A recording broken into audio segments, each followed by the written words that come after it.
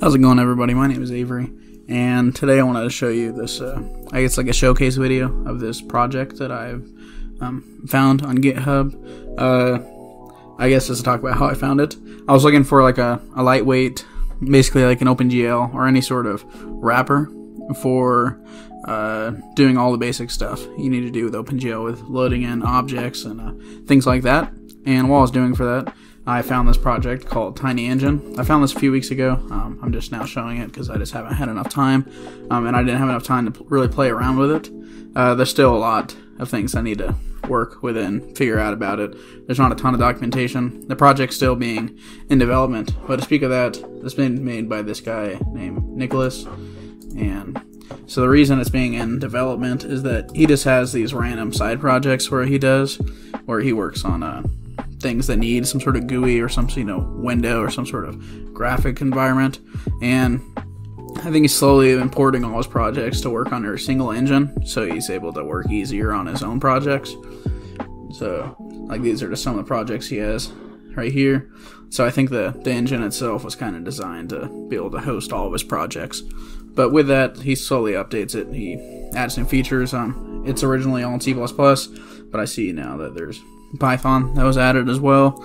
Uh, I tried out some of the Python stuff. Didn't seem to work perfectly for me, but I'm sure that's something he's still working on. And I'll have all the links for everything in the description. And it looks like there's been some other contributors. I think it had something down here talking about people that were wanting to contribute on the project or anything like that, that they could uh, make pull requests and whatnot. And uh, but yeah, so I just wanted to quickly show it off. Do download this project, you can just this isn't. Uh, you'll just get it from GitHub itself, and then so I guess let's get the shorter link. Yeah, that's what I was looking for. But you can just do git clone and then just like that. And I already have this downloaded, so I can go where I have it downloaded right in here. And as we can see, you have the project right here. And now there's a header files and everything. And there's a binary for the library and whatnot. Um, he doesn't have it so it's like a drop in your project. He has it so it sets it up on your computer and everything. So down here is the compiling and linking instructions. Uh, you can do sudo setup, uh, the make setup, make helpers, make install, where the setup creates the header files. Uh, the helper has a few extra additional header files that he has, and I guess I can believe they're right here. Um, so that he has some stuff for objects and timers and a camera, um, along with helper stuff. So I think that installs and sets up all that stuff as well. The install actually uh, um, makes the I guess it's the binary or whatever. I don't really know exactly the term for it, but it's more than just a header file. It makes the library and puts it in the correct location. If you do sudo make all, it'll do everything for you. And I already have it set up, but uh, yeah. So you can see to the headers, to the helpers, and now it's compiling everything. And for building a project, like I said, it puts in all in the right directory, so you don't need to drag and drop this into your projects directory. So you can just include it this way. Just include Tiny Engine just as so. And if you want to include any of the extra things he has, like the ones I just mentioned or showed you a second ago, the helpers, and there, plus there's a few more, you can just include them this way. And whenever you compile it with G++, and um, I mean whatever compiler you're using, uh, you'll just want to include it that way with the library. And here's a few more details about uh, extra things you might need for shipping it. I guess it's like a make file. And then he has dependencies. Um, so this uses SDL2. I guess it also uses GLEW and GLM. I'm not sure if all the windows are just being shown with SDL2 or if it's using GLM for the windows. Um, then OpenGL3 is the background. It's, I mean, it's what he does for all the rendering. Then I guess he probably displays it on one of these window, like a window using all that, and has just the controls with SDL2. But I'm not positive. Um, but yeah, he has a list of all the things that you need just right here. And this is if you're using apt, and this is if you're using DNF for managing your packages. Um, he has the Mac OS stuff down here. Windows, he doesn't have instructions for it. Um, he probably I don't, so he hasn't ported it to it, but I'm sure it wouldn't be too hard to port. So if you guys are interested, that's something you guys can probably do yourself. Um, considering all these dependencies, they all work perfectly fine on Windows. I just know, like by default, when you install SDL2, um, maybe the location's just a little bit different instead of like how this one's tiny engine tiny engine i think like SDL2, sdl but i think on windows it's uh, a little bit different so you just need to change that up a little bit, make it so it works. So he has some sample projects. Um, not every single sample project works when I try to run it. Um, for example, the trees, uh, it doesn't show the leaves; it shows the shadows, and you can even adjust the leaves, but it's only adjusting the shadows. It never shows the leaves for me.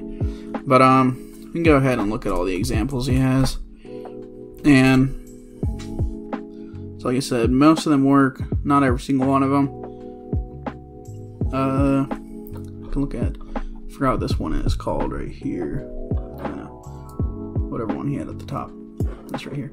Uh, Julia. So where's Julia? Um, Julia's number four.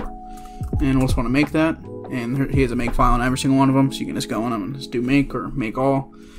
And then, so, uh, so he has IMGUI. It's part of the thing. Um, it's built in. Uh, he has everything set up for IMGUI, and I believe it comes installed whenever you download his stuff. Or I guess it comes downloaded when you download it, and you can set it up. Uh, so whenever you on his sample programs, and also it's the default for his engine.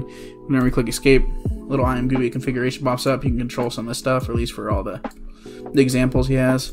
Um, yes, this if I remember. Yeah, I mean, I don't really know exactly what all this stuff is, but uh, you can play around with some of the samples. And he mentions he doesn't really have too much documentation on everything, but you can go ahead and check out the code for everything, and it's pretty simple to do. Including with that, I was able to look at. Um, so the scene one right here, I'll make that real quick. The scene one loads in some object files, and uh, let's check that out. So here's the scene right here. You can scroll in just with a mouse movement, and I believe. Okay, so there's no rotation or anything, but uh, yeah, like I said, you can click escape, pops in a little IMGUI thing, and you can control some of the brightness. You can control that is some of the features. You can change the light color, just like that. So all these are single objects that he puts into it. So whenever you check out the code, it's really easy to do that as well. Um, let's see where I had my own. I just with that one scene, I had my own example where I was able to already have it right here. Um, it literally uses the exact same example. I got rid of the I'm. I know I still have the IMGUI. I lied about that, but uh, made it so you can control this little car. It the camera at the moment is not following the car, and there's no sort of collision or anything. But I I just added the car in, and the camera follows the car a little bit, but I guess I didn't configure it all the way. So like it follows with the car if the car goes away. Um, yeah, that's basically it. It's extremely easy to load in an object. Uh, I'll just pull up this.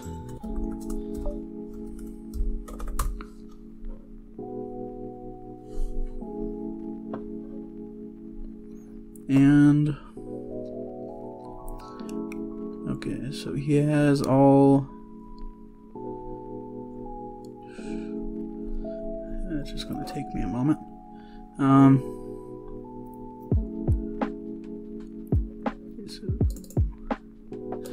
Okay, so I guess oh GLM. I had that mixed up. GLM's just for math, isn't it?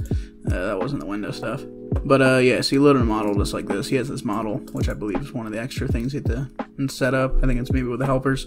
Um, path is just where I have the models, and then I loaded in that car right here. It's called car, and then right here is do the translation. So I tell it where I want the car to be. I just have this set up as the variables, and then for drawing it, uh, I just added it right here, just with all the other objects he had.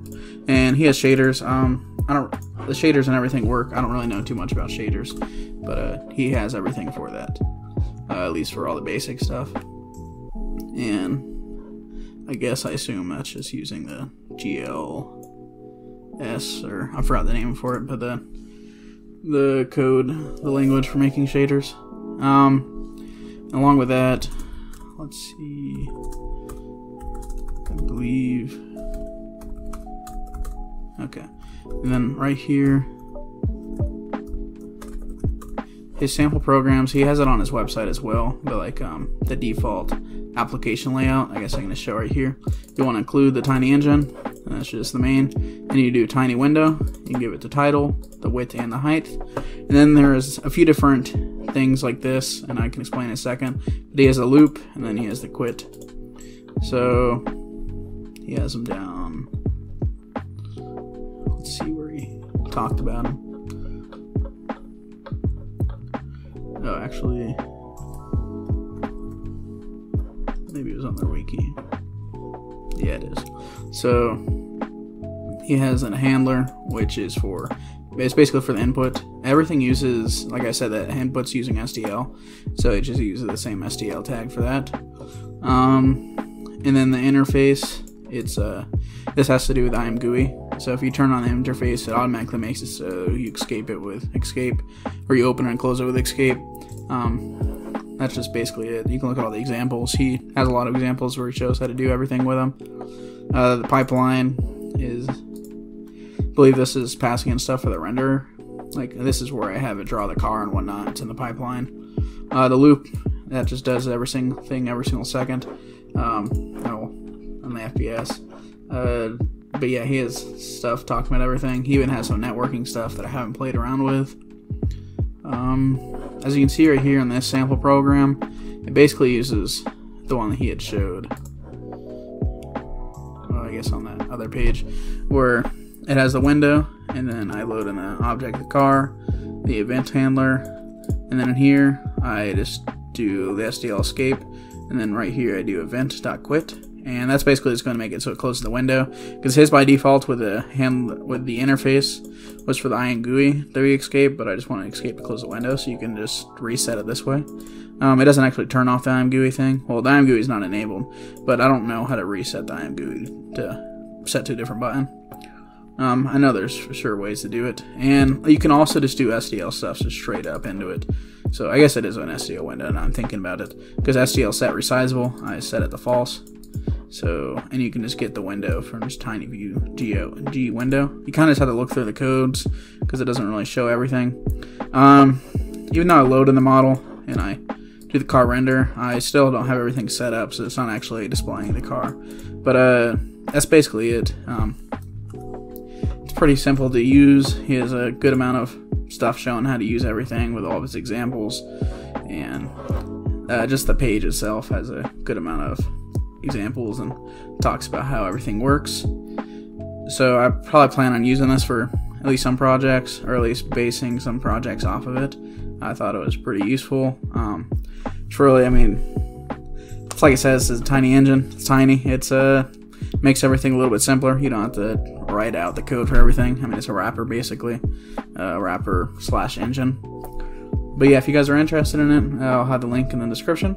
Go ahead and check it out. I thought it was pretty cool looking, and I just wanted to share with you guys. Have a good one. Bye.